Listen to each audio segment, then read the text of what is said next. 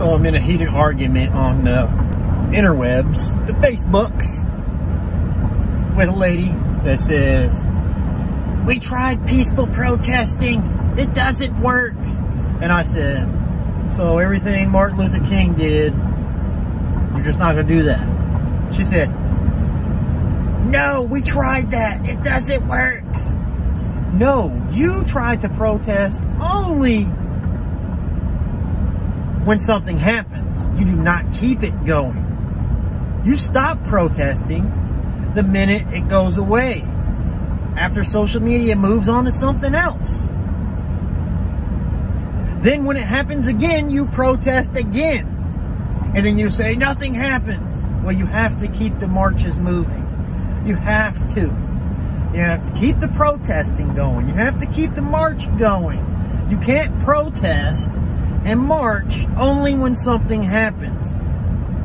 You have to be able to do it all the time. You cannot just pick and choose when you want to do these things.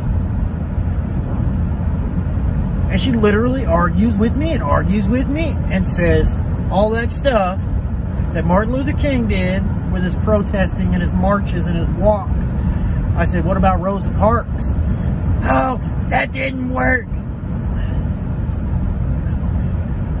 I don't I really feel like our school system and our educational system is letting us down more than anything.